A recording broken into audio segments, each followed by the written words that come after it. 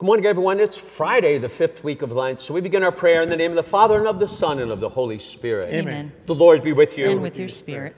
I'll bet you all of us have had this experience. You know, you just think that life has really gone down the drain and, and you have no hope and you spend time crying or really upset, and then something happens that either calms you down or reminds you that, you know what, it, it's okay. It's going to be okay. It might take time, but it's going to be okay. For the time we pan- times we panic, we ask God's forgiveness, and so we pray, Lord, have mercy. Lord have mercy. Christ, have mercy. Christ have mercy. Lord, have mercy. Lord have mercy. Let us pray. Pardon our offenses, O Lord, and in your goodness set us free from the bonds of sin we have committed in our weakness through Christ our Lord. Amen.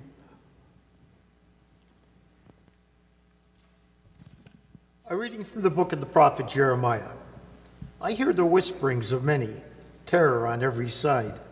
Denounce, let us denounce him. All those who were my friends are on the watch for any misstep of mine. Perhaps he will be trapped, then we can prevail and take our vengeance on him. But the Lord is with me like a mighty champion. My persecutors will stumble, they will not triumph. In their failure, they will be put to utter shame, to lasting, unforgettable confusion. O Lord of hosts, you who test the just, who probe mind and heart, let me witness the vengeance you take on them, for to you I have entrusted my cause. Sing to the Lord, praise the Lord, for he has rescued the life of the poor from the power of the wicked. The word of the Lord. Thanks be to God. The responsorial song. In my distress I called upon the Lord, and he heard my voice. In my, In my distress, distress I called I upon the called Lord, and he heard my voice. I love you, O Lord, my strength. O Lord, my rock, my fortress, my deliverer. In my distress I called, Called upon the Lord, and he heard my voice. My God, my rock of refuge, my shield, the horn of my salvation, my stronghold. Praise to the Lord, I exclaim, and I am safe from my enemies. In my distress, I called upon the Lord, and he heard my voice. The breakers of death surged around me. The destroying floods overwhelmed me. The cords of the netherworld enmeshed me. The snares of death overtook me. In my distress, I called upon the Lord, and he heard my voice. In my distress, I called upon the Lord and cried out to my God. From his temple, he heard my voice, and my cry to him reached his ears. In my distress, I called upon the Lord, and he heard my voice.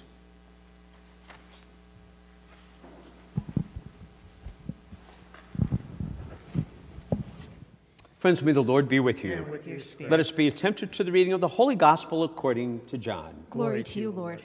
The Jews pick up rocks to stone Jesus. Jesus answered them, I have shown you many good works from my Father. For which of these are you trying to stone me? The Jews answered him, We are not stoning you for good works, but for blasphemy. You are a man and are making yourself God. Jesus answered them, Isn't that written in your law, I said you are gods? If it calls them gods to whom the word of God came, and scripture cannot be set aside, can you say that the one whom the Father has consecrated and sent into the world blasphemes because they said, I am the Son of God? If I do not perform my Father's works, do not believe me. But if I perform them, even if you do not believe me, believe the works, so that you may realize and understand that the Father is in me and I am in the Father. When they tried to arrest him, but he escaped from their power. He went back across the Jordan to the place where John first baptized, and there he remained. Many came to him and said, John performed no sign, but everything John said about this man was true. And many began to believe in him. The Gospel of the Lord. Praise to you, Lord Jesus Christ. There's a really um, interesting story in the book called Late Migrations A Natural History of Love and Lost by Margaret Renkl. And in the book, she talks about um, her mother's sudden death. Wasn't ready for it whatsoever. And she takes you to the morning after her mother's sudden death. Here's what happened. She said, Before I was up, someone brought a basket of muffins, good coffee beans, and a bottle of cream, real cream, unwhipped, left them on the back door, and tiptoed away. I couldn't eat. The smell of coffee turned my stomach, but my head was pounding from the tears, and all the what ifs playing across my mind all night long. And I thought perhaps the cream would make a cup of coffee count as breakfast if I could just keep it down. When I poured just a drip of cream into my cup, it erupted into volcanic bubbles in a hot spring, unspooling skeins of bridal lace, fireworks over a dark ocean, stars streaking across the night sky about a silent prairie. And that's how I learned the world would go on. An irreplaceable life had winked out in an instant. But outside my window, the world was flaring up in celebration. Someone was hearing, It's benign. Someone was saying, It's a boy. Someone was throwing out her arms and crying, Thank you, thank you, oh, thank you. You know, so those are experiences, I'm sure we've all had those good ones, but we've also had that horrible, horrible experience of loss. And her anonymous neighbor, whoever that was, um, did something, it wasn't earth shaking. I'm sure it didn't cost a fortune. So it's those little things that really matter. Those little kindnesses, like she talks about there, or you stop into a home just to check on so how somebody's doing, especially after a loss. Those little things amidst the challenges of life, they're great. They're great because they're directed by God, and God does work through His people. God bless. For those people going through difficult times, especially because of loss of loved ones, we pray. Lord, hear our prayer. People are good. We may look for the good in people rather than the problems. We pray. Lord, hear our prayer. For those people that feel alone, abandoned, or they can't go on, we pray. Lord, hear our prayer. For those contemplating taking their own life, we pray. Lord, hear our prayer. And we ask all of this through Christ our Lord. Amen.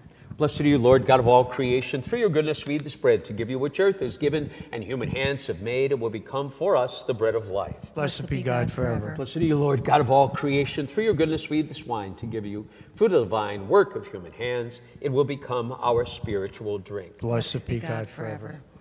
Friends, let us pray that our gifts will be acceptable to God, our loving Father. May the Lord accept the sacrifice at our hands for the praise and glory of his name, for our good and good of God's holy church. Grant, O merciful God, that we may be worthy to serve ever fittingly at your altars, and there be saved by constant participation through Christ our Lord. Amen. The Lord be with you. And with your spirit. Lift up your hearts. we lift them up to the Lord. Let us give thanks to the Lord our God. It is right and just. For the saving passion of your Son, the whole world received a heart to confess the infinite power of your majesty. Since by the wondrous power of the cross, your judgment on the world is now revealed, and the authority of Christ crucified. And so we join our loved ones in heaven as we pray this hymn of unending praise. Holy, holy, holy Lord, God of hosts, heaven and earth are full of your glory. Hosanna in the highest. Blessed is he who comes in the name of the Lord. Hosanna in the highest. You are indeed holy, O Lord, the font of all holiness. Let your Spirit come upon these gifts to make them holy, so that they may become for us the body and blood of our Lord Jesus Christ. At the time he was betrayed and entered willingly into his passion, he took bread and giving thanks, broke the bread, gave it to his disciples, saying, Take this, all of you, and eat of it, for this is my body, which will be given up for you. Similar way, when supper was ended, he took the chalice, once more giving thanks, gave it to his disciples, saying, Take this, all of you, and drink from it, for this is the chalice of my blood, the blood of the new and eternal covenant, which will be poured out for you and for many for the forgiveness of sin. Do this in memory of me.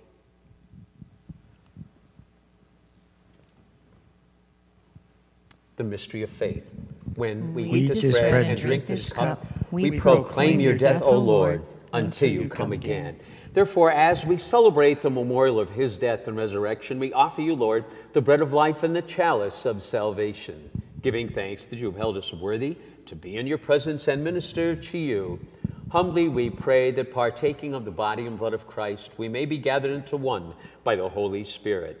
Lord, remember your church spread throughout the world. Bring her to the fullness of charity together with Francis, our Pope, and Joseph, our Bishop.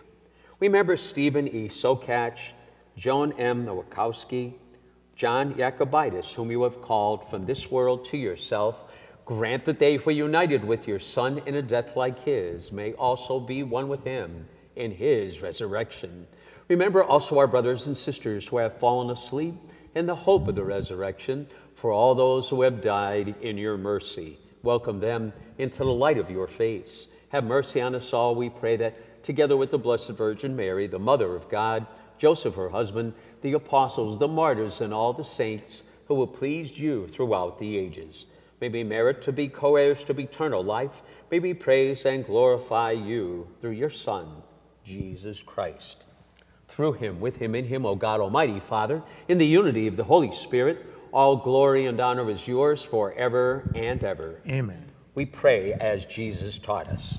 Our Father, who art in heaven, hallowed be thy name. Thy kingdom come, thy will be done, on earth as it is in heaven.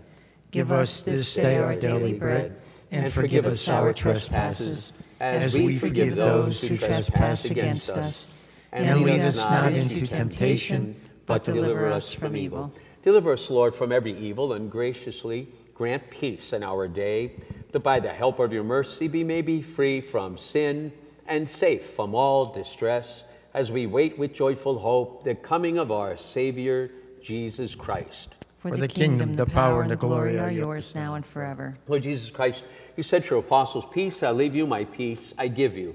Look not on our sin, but on the faith of the church, and graciously grant her peace and unity in accordance with your will, who live and reign forever and ever. Amen. May the peace of our Lord be with each one of you. And with your spirit. So offer to one another a sign of God's love. Lamb of God, You take away the sin of the world, have mercy on us. Lamb of God, you take away the sin of the world, have mercy on us. Lamb of God, you take away the sin of the world, grant us peace. behold the Lamb of God. Behold him who takes away the sin of the world. Blessed are those called to the supper of the Lamb.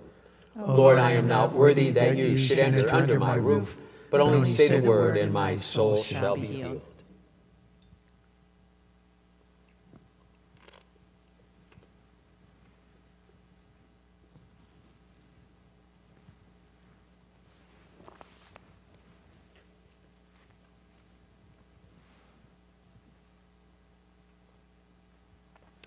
Grant, Almighty God, that your servants who seek the grace of your protection may be freed from every evil and serve you in peace of mind through Christ our Lord. Amen. The Lord be with you. And with your spirit. May. God's blessing continue to guide our journey. Father, Son, and Holy Spirit. Amen. Let us go now in peace to love and serve the Lord. Thanks be to God. Have a good weekend, everyone.